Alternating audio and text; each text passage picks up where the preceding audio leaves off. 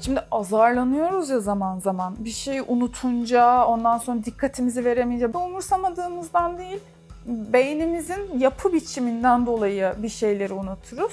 Dikkat eksikliği hiperaktivite bozukluğu denen şeyin bir çatı kavram olduğunu öncelikle anlaşılması lazım. İşlevselliğin bozuk olduğu söyleniyor. Kişilerin bozuk olduğu söylenmiyor. Sizler dikkat eksikliği hiperaktivite bozukluğunun çok daha ötesinde varlıklarsınız. O sizin bu yolculuğunuzda yaşamış olduğunuz sıkıntılara verilen bir ad.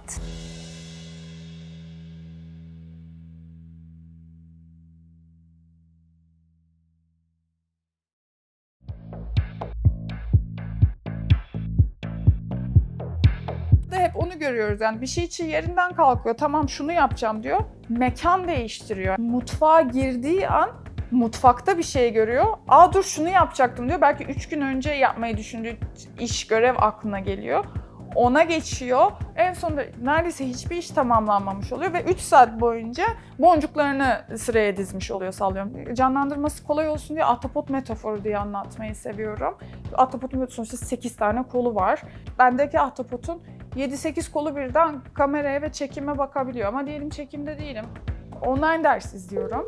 O atapot 2-3 kolunu koyuyor oraya sadece. Böyle boşta 5 tane kol dolaşıyor. O kollar ne yapıyor? Böyle etrafı yokluyorlar böyle. Tütsü mü yaksak? Kahve mi yapsak? İçeride dolaşıyor. Akşam ne yapacağız? Ne yesek? Tatile nereye gitsek?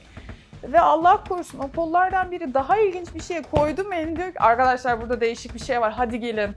Ve sonra dikkat çat diyor ya diyorum. Ve içeride fark etmiyoruz işte dikkatin öyle. O yüzden dikkat eksikliği deniyor ama hani deneyimsel olarak bir hengame var aslında. DSM psikiyat yönerge kitabı. Mesela DSM'de tanıyı yaparken nöropsikiyatrik bir bozukluk olarak ele aldığını söyleyebilirim. Beynin yürütücü kumanda kutusunda aksama kişinin yaşadığı uyum sorunu olarak değerlendirilir. Kabaca bir uyum bozukluğudur. Bu durum muhakkak yaşamlarında işlevsellik açısından da bir karşılığı oluyor ve yaşamlarında belirli açılardan e, yaşam yönetim güçlüğüne sebebiyet verebiliyor. Geceleri oturup bir kitabı bitirebiliyorum. Bu dikkat gerektiren bir şey. Ama dikkati düzgün yönlendiremiyorum. Çünkü yine aynı gece benim sınavımdan önceki gece oluyor. O zaman o kitabı bitirmemem gerekiyordu. Çocuk yaşlarda daha çok eğer bunlar e, hiperaktivite alt tipiyle gelen kimselerse öğrenmekle alakalı zorlukların sıklıkla eşlik ettiğini biliyoruz. Hiç ders çalışamamışım onu fark ettim. Sonrasında bu yani ADHD'm olduğunu düşünerek ona göre plan yaptığımda çalıştığım ders gerçekten normal bir ders çalışma düzenine benziyor.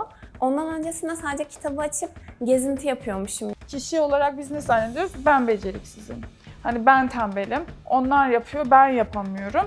Bu sefer öz saygı düşmeye, özgüven düşmeye başlıyor. Sakar oluyoruz. Sakar olunca da sakarsın diye suçlanabiliyoruz. Yani etraf farkındalığı azalabiliyor. İşte 13 yıldır yaşadığın evde koridorda köşeye dönerken hala omzunu çarpıyorsun. Babam bir gün arkadaşlarıyla yolda yürürken birlikte böyle zikzaklar çizerek ve sağa sola bakarak ilerlemesi ve orada da hani bu konuda bilgisi olan bir arkadaşı e, hani dikkat dağınıklığın var sanırım, hiperaktiviten var gibi diye bir yorum yapmış. Babam sonrasından gidip kendisi de tanı aldı ve o da 55 yaşında tanı almış oldu. Dikkat eksikliği hiperaktivite bozukluğu tanısı alan çocuklarda ve ergenlerde semptomlar yaşla birlikte gerileyebiliyor. Türkiye özelinde genel psikiyatri polikliniğine başvuran erişkinlerde 50 kişiden biri gibi paylaşılıyor. Neredeyse 5 kişiden 4'ünde başka eş tanı saptandığı çalışmalarda gösterilmiş. Yürütücü işlevler çatısı altında değerlendirdiğimiz işlevlerde yetersizlikler olduğu yapılan çalışmalarda gözlenmiş. Erkeklerde kadınlara göre daha yüksek oranda saptanıyor. DSM-4'teki kriterler de tanının kriterleri olarak değerlendirilirken bunun bir erkek çocuğu e, baz alındığı söyleniyor. Ben çok şey başladım. Çok şey yarım bıraktım. Mesela dil öğrenmeyi çok seviyordum. Böyle güzel bir seviyeye gelip gelip bıraktım sürekli. Ve toplayınca toplamda 11 tane dili öğrenmeye başladım. İngilizce, e, Fransızca, Almanca, İtalyanca, İspanyolca, Arapça, Farsça, İsveççe, Norveççe, Makedonca var. Bir de Rusça en son. Ona buna dalmamız ilginç bir şekilde sonradan bir araya geliyor, bir işe yarıyor. Çünkü sürekli bir yeti edinmiş oluyorsun aslında. Ekran çok tehlikeli bir şey bizim için. Yani ben orada notlarımı açmak için ekranı aldığımda kim biliyor benim Instagram'da 3 saat harcamayacağım. Ben 77'liyim. Böyle bir teknolojiye maruz kalmıyorduk. Aileler sınır koymadığı zaman çocuklar sınırsızca televizyon izleyebiliyorlardı ve hani programın içeriğine bakılmadan her türlü habere maruz kalıyorlardı. Her türlü şiddet içeren filme maruz kalıyorlardı ve saatlerce ya da konsol oyunları vardı. Benden 10 yaş küçük kuzenim mesela onun jenerasyonuna baktığım zaman onlar da Kral TV ile büyüdüler. E bunlar da senin zaten altyapında varsa tetikleyen şeyler oluyor. Ha ilginç bir şey geldi gelecek, ha ilginç bir şey geldi gelecek. O şeye bağlı kalıyoruz. Telefonlar bunu zaten iyicene çok kötü yaptı. Şimdi oldu sana 15 saniyede 3 farklı şey bekliyoruz. Zaten dikkati sürdüremiyorduk. Küçük ödüllere de yönelik bir beynimiz vardı. Zaten yatkındık, iyice elimiz gidiyor çok duyuluyor. Yani madem bu çocuğun dikkat eksikliği var nasıl oluyor da 8 saat oyun oynuyor? Bütün dikkati oraya veriyor çünkü. Yani hiper fokusa geçiyoruz. İnsan yemeği içmeyi unutuyor. O öncelik sırasına bir türlü giremiyor. Biri dürtse duymuyorsun. Hani oraya kitleniyorsun ve çok büyük işler de çıkabiliyor. Kişisel ilgi alanıysa böyle bütün dikkat fokuslanıyor. O yüzden de o hani hiperaktifin de bir yerde özel gücü olmuş oluyor. Objeyi görmediğimde gözümün önünden kaybolması da çok tipik bir özellik yine. Benim sık yaşadıklarım işte anahtar kesin unutuluyor. Cüzdan, telefon kesin unutuluyor. Bazen mesela sorumluluğum olan bir şeyi unuttuğumda, getirmediğimde artık e, insanlardan aldığım tepki şey oluyor. Hani bu kadar da önemsememezlik olmaz. Bir arkadaşımı görmediğimde fiziksel olarak yani böyle bedensel olarak yanımda olmadığında ya da bir mesaj atıp böyle gözümün önüne girmediğinde ben o arkadaşımı unutuyorum. Ona mesaj atmak, onu nasılsın, ne yaptın diye sormayı hiç hatırlayamıyorum. O da önemsemeyen bir arkadaş yapıyor beni. Oturuyoruz ve sohbet ediyoruz. Arkadan kuş, kedi, insan, herhangi hareket eden bir şey geçtiğinde kesinlikle bakıyorum. Yani herkes böyle bir arkasına dönüp biri mi geliyor, bir şey mi oldu falan ya da bir acelen mi var gibi tepkiler veriyorlar. Bu ne diyorduk şeyini o kadar çok kullanıyorum ki cümlesini. Ne, ne neyi cevapladığımı hatırlıyorum ne ne anlattığımı hatırlıyorum. O yüzden orada karışıklıklar oluyor ve hep çok konuşan kısım oluyorum. Bir arkadaşımın bir şeyini dinlemeye gittiğimde bile ben bir şey anlatmış oluyorum. Bir konudan bahsedildiğinde bir şey sorulduğunda dürtüsel bir şekilde hemen cevap veriyorum ve o cevap hep istenen cevap ya da o sorunun cevabı olmuyor. Kafamdaki şeyi söylemiş oluyorum bazen. Ve öyle olduğunda insanlar ya soruyu dinlemediğimi ya anlamadığımı ya da hani umursamadığımı ya da böyle çok değişik biri olduğumu, garip biri olduğumu düşünüyorlar. Patron e, ve çalışan ilişkilerinde otoriteyle alakalı sorunlar, ast üst ilişkilerinde problem olabiliyor ve çok fazla iş değiştiriyorlar.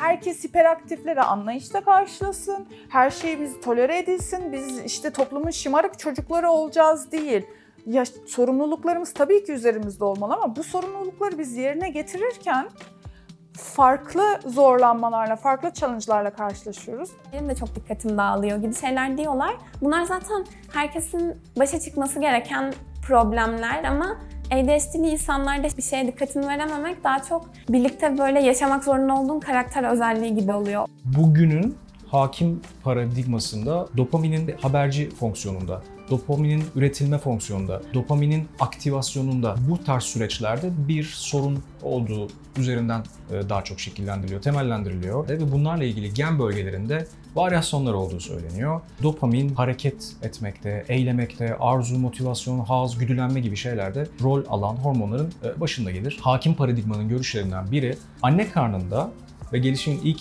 yıllarında yaşanan sorunlarla alakalı.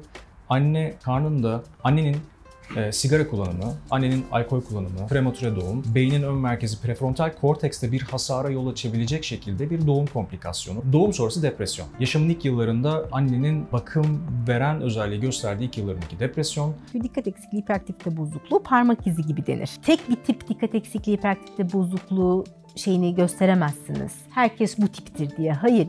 Nöro çeşitlilik diyeceğim şu anda buna. Tipikten öteki uca kadar bir skala ve herkesin kimi özellikleri farklı. Belirtiler benzeyebilir ama herkesin hikayesi birbirinden çok farklı. Ve DSM'nin kriterlerine göre 3 e, tane alt sınıf var. Bir tanesi dikkat eksikliği baskın tip, ötekisi hiperaktivite dürtüsellik baskın tip, üçüncü olarak da kombine tip dediğimiz ikisinde bulguların görüldüğü şekilde. Ülkemizde erişkin dikkat eksikliği ve hiperaktif bozukluğunun kliniği meselesi yeni bir şey olduğu için yeni dediğim 10 yıllık Dolayısıyla 2010'lu yıllardan öncesinde eğitim alan, e, uzmanlığın çok daha öncesinde alan e, hekimlerin zaman zaman e, bu durumu okulda öğrendiği bir şey değil, daha alaylı öğrendiği bir şey olduğunu gözlemliyorum.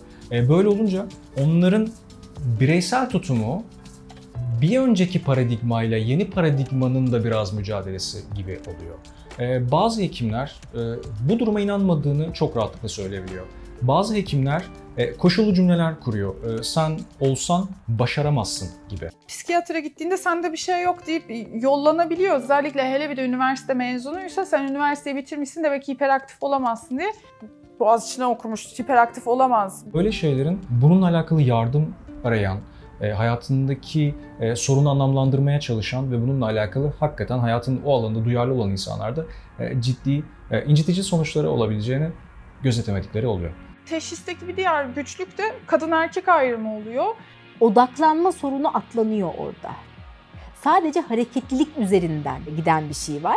E, yerinde duramayan o çocuk aslında bakarsanız bir erkek çocuk tanımı.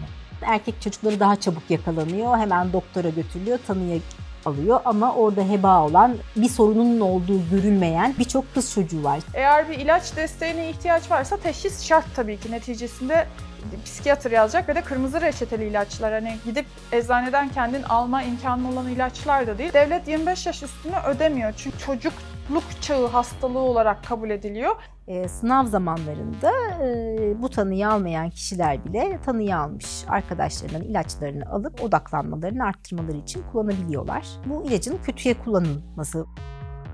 Kişilerin dikkat eksikliği hiperaktif bozukluğuyla alakalı olabilecek belirli şikayetlerine karşı tedaviler var. Bunun başında e, psikostimülan denilen uyarıcı tedaviler geliyor. E, tedavi sadece e, işte ilaç tedavisinden oluşmuyor. Biz şimdi insanlara bu durumun tanılanması, farkındalığı, yaşamlarını düzeltmek konusunda klinik haricinde çok fazla imkan sunmuyoruz gibi. Bilişsel davranışçı terapinin bununla alakalı çalışmaları var. Kabul ve kararlılık terapisinden bahsediliyor. Mindfulness temelli denen farkındalık temelli terapiler kişinin e, yaşamda yaşadıkları zorluklar, e, bunun yarattığı stres, konusunda ve bu stresin ele alınabilmesi, bu stresin katlanılır ve idare edilebilir bir düzeyde olması konusunda kişilere yardım sağlayabiliyor. Nefes çalışması da kişinin kendisine yaklaşmasını sağlayan yöntemlerden bir tanesidir. Yani öncelikle bunun farkına varmış olmak ilaçtan çok daha etkili bir şey. Çünkü beyninizin biraz nasıl çalıştığını anlamaya başlıyorsunuz ve ona göre hareket ediyorsunuz. Yani tanı odaklı değil, sorunun kaynağı odaklı düşünmek ve bunun çerçevesinde sorular sormak çok önemli. Dikkati dağılıp gittiğinde aa dağıldığı fark etmek. Yani bizim o kasımızın çok güçlenmesi gerekiyor. Koptuğunda koptuğunu fark etmek ve koptuğu yerden geri yürümeyi öğrenmek akran tecrübe paylaşımı çok fazla öncelemeleri gerektiğini düşünüyorum. Bunun avukatlığını yapan, aktivistliğini yapan insanları takip etmek. Ee, bununla alakalı e, Discord gibi gruplarda bu kişiler mesela toparlanıyorlar ve soruları birbirine soruyorlar. Mesela en çok bana yardımcı olan şeylerden biri Spotify'da en yakın arkadaşım ADHD diye bir podcast vardı. Ama bir yandan da mesela daha çok böyle Reddit gibi yerlerde mimlere bakıldığında, böyle karikatürlere bakıldığında biraz depresif olmaya başlıyor. Hani neleri yapamadığınızı sürekli komik şekilde biri size söylüyor ve o da çok hoş olmuyor. Meğersem ben bu yüzden zorlanıyormuşum farkındalıkları çok oluyor. Böyle aha biri daha bu zorlanmamı normal karşılıyor. Herkes bunu yaşıyor ve halledilebilir bir şey. Bunca zamandır bütün hani bu doktorlar, terapiler, işte koçluklar arasında bana en iyi gelen şey bu grup oldu sözünü duydum. Ya bu tabii ki çok hoşuma gidiyor benim. Bir arada olunca e, hepimiz garibiz. E, bu garipliğin içerisinde hepimiz normaliz.